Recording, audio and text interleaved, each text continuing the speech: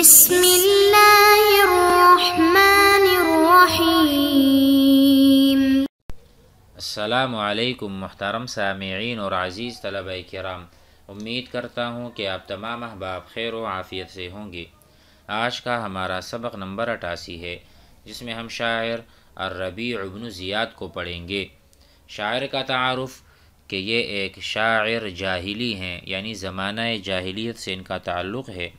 اور اس کے ایک بیٹے حضرت حارث ابن ربیع رضی اللہ عنہ صحابی ہیں اور صحابی گزرے ہیں۔ تو آئیے ان کے اشعار کو پڑھتے ہیں اور اسے سمجھتے ہیں۔ وقال الربيع بن زياد العبسي حرق قيس علي البلاد حتى إذا إذا اضطرمت أجذما جنية حرب جناها فما تفرج عنه وما أسلما غداة مررت بآل الرباب. تعجل بالركض أن تلجما فكنا فوارس يوم الهرير. إذا ما لسرجك فاستقدما عطفنا وراءك أفراسنا. وقد أسلم الشفتان الفما. إذا نفرت من بياض السيوف قلنا لها أقدمي مقدما. تو آئیے ترجمہ کرتے ہیں۔ حرقا حرقا مانا جلانا، کسی چیز کو آگ لگانا۔ حرقا قیس قیس نے جلا دیا، علیہ البلاد مجھے بھی اور شہروں کو بھی۔ البلاد جمع بلد، اور بلد کہتے ہیں کسی بھی ملک کو یا کسی بھی شہر کو۔ فحرقا قیس علی البلاد، مجھ سمیت قیس نے شہروں کو جلا ڈالا حتی اذ اضطرمت اضطرمت النار آگ بھڑک اٹھی اضطرمت اصل میں تو ہے اضطرم یضطرم لیکن جب نار نار مؤنث ہے تو اضطرمت حتی اذا اشتعلت اشتعل الناس اشتعل الرأس شیبا ٹھیک ہے تو اضطرمت اشتعلت جب آگ بھڑک اٹھی اجزما بمعنى فر او سارا سیرن سریعن تو باغ نکلا۔ جب آگ بھڑک اٹھی اچھے سے تو خود باغ گیا۔ اجزما کے معنی یہی بھی ہیں کہ اجزما فی السیر، سارا یسیرو چلنا، چلنے میں تیزی اختیار کرنا۔ اور اجزما یدہ بمعنی قطع یدہ کسی کے ہاتھ کو بھی کاٹنے کے معنی میں بھی آتے ہیں۔ تو یہ مراد ہے کہ جب آگ بھڑک اٹھی باغ گیا۔ جنیت حرب جناہا جنگ کے جرم کا اس نے ارتکاب کیا، جنیہ۔ جنیہ کا ترجمہ ہے جرم۔ جنیت حرب جنگ کا جو جرم تھا جناہا کسبہا۔ اس نے کمایا یا اس نے جرم کا ارتکاب کیا۔ فما تفرج عنہ وما اسلما تو نہ تو اس سے اس کے ساتھی دور کیے گئے اور نہ وہ دشمنوں کے حوالے کیا گیا۔ فما تفرج عنہ۔ تو اس سے دور نہیں کہ دور نہیں کیا گیا۔ کیا چیز؟ دشمن۔ وما اسلمہ اور نہ وہ صحیح سالم رہا۔ اس سے مراد یہ ہے، بلکہ اس کی قوم نے اس کی مدد کی۔ فما تفرج عنہ نہ تو اس سے دشمن دور ہوئے تھے۔ وما اسلمہ اور نہ وہ امن میں رہا۔ تو اسی لیے لوگوں نے اس کی مدد کی۔ ٹھیک ہے؟ اسلمہ کے معنی آتے ہیں بے سہارا چھوڑنا حوالے کر دینا۔ نہ تو اس کو کسی نے دشمن کے حوالے کیا اور نہ اسے اکیلا چھوڑا۔ غداتا مررتا بآل الربابی اے بنو زہیر کے آدمی، یاد کر اس دن کو یا اس صبح کو۔ یہ اس کو کہہ رہے ہیں، بنو زہیر کے آدمی کو۔ غداتا مررتا بآل الربابی یاد کرو اس صبح کو جب تو آل رباب پر گزرا۔ اس حال میں کہ باغنے میں یا ایڑ لگانے میں تو جلدی کر رہا تھا۔ اس بات سے کہ تو لگام دیتا۔ کہتے ہیں، اس صبح کو یاد کرو، جب تم آل رباب کے پاس سے گزرے تھے تو جیلو بر تم دوڑ لگاتے ہو۔ تو جیلو من العجلتی العجلتو تیزی دکھانا، تیز باغنا گھوڑے سمیت یا خود بھی۔ بررکضی رکض یرکضو اس کے معنی ہیں دوڑنا۔ رکضا الرجل او رکض الحصان، رکض الفرس گھوڑا دوڑا، بہت تیزی سے۔ تو کہتے ہیں کہ آپ تو بہت تیز دوڑے تھے اس وقت، کیا وجہ تھی؟ ان تلجما تلجما کے معنی آتے ہیں لگام لگانا گھوڑے کو اپنے گرفت میں لینا۔ تو اس سے کیا پتہ چلا؟ یہ کہہ رہے ہیں یعنی ڈر اور خوف کی وجہ سے عالم یہ تھا کہ باغ تھے اور گھوڑے کو ایڑ لگاتے ہوئے جلدی میں لگام بھی نہ دے سکا تھا۔ تو اس دن کو، اس اس صبح کو آپ یاد تو کرو اے آل زہیر۔ فکنہ فوارث یوم الحریری ہم یوم حریر کے شہ سوار ہیں۔ فکنہ فوارث۔ ہم شہ سوار ہیں، فوارث جمع فارس۔ ہم شہ سوار ہیں یوم الحریری حریر کے دن کے۔ اذا مال سر جھکا فستقدما جب تیرے گھوڑے کا زین جھک گیا تھا اور آگے بڑھ گیا تھا۔ یہ وہ منظر بتا رہا ہے کہ اس وقت آپ بہت اضطراب کی حالت میں تھے اور آپ ثابت قدم نہیں تھے، عدم ثبات سے کنایا ہے۔ یعنی جنگ حریر میں تو پریشان اور مسترب تھا۔ مالا یمیلو، جھک جانا، جگہ سے ہٹ جانا، سر جھکا، زین۔ گھوڑے کا جو زین ہے، وہ بہت ہٹ گیا تھا۔ گویا کہ آپ بھی مسترب تھے۔ فستقدما تو وہ گھوڑا بہت آگے چلا گیا۔ عطفنا وراءک افراسنا۔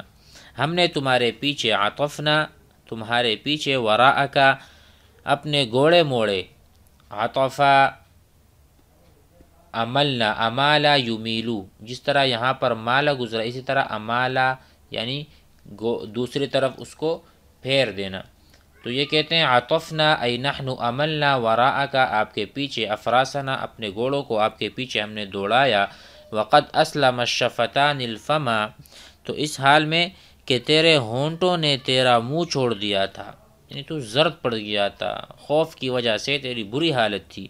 کہتے ہم نے تمہارے پیچھے اپنے گھوڑے موڑے، ایسے حال میں کہ تیرے ہونٹوں نے تیرا منہ چھوڑ دیا تھا یہ کنایا خوف اور استراب سے یعنی خوف کی وجہ سے منہ کھلا کا کھلا رہ گیا تھا۔ گویا کہ آپ کو ہونٹ ہی نہیں ہے۔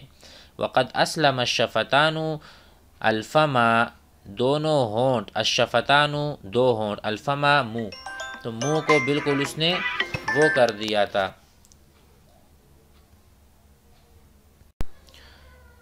اذا نفرت من بیاض السیوفی وہ گوڑے تلواروں کی چمک سے اذا نفرت نفرت بمعنی فرت و جرت جرا یجری باغنا دوڑنا۔ تو کہتے ہیں کہ گھوڑے باغے تھے، کس وجہ سے؟ تلواروں کی سفیدی دیکھ کر، چمک دیکھ کر۔ اذا نفرت من بیاغ السیوفی وہ گھوڑے تلواروں کی چمک سے خوف کے سبب باغنے لگے۔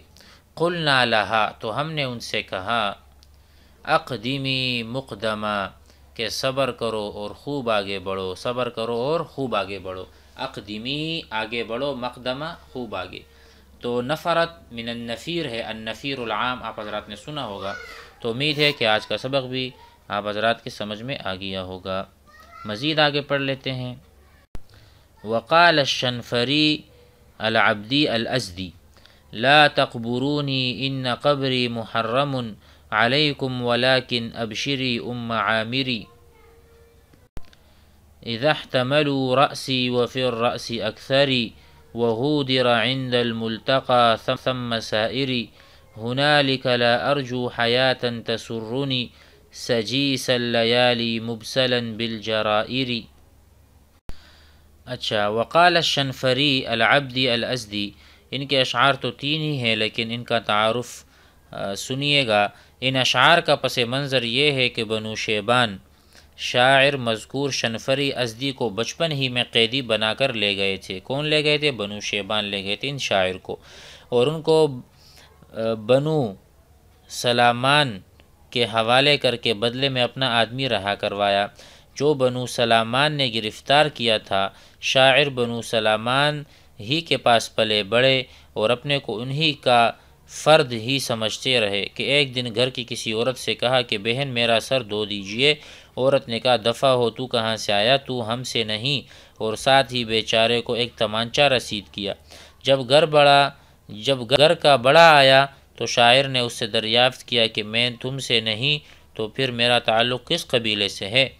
گھر کے مالک نے کہا، تمہارا تعلق اوس ابن حجر ازدی سے ہے شاعر طیش میں آیا اور قسم اٹھائی کہ مجھے غلام بنا کر اپنے پاس رکھنے کی پاداش میں اب میں تم سے سو آدمی قتل کروں گا، چنانچہ حسب قسم ننانوے آدمی قتل کیے، ایک آدمی رہ گیا تھا کہ لوگوں نے اس کو گرفتار کیا۔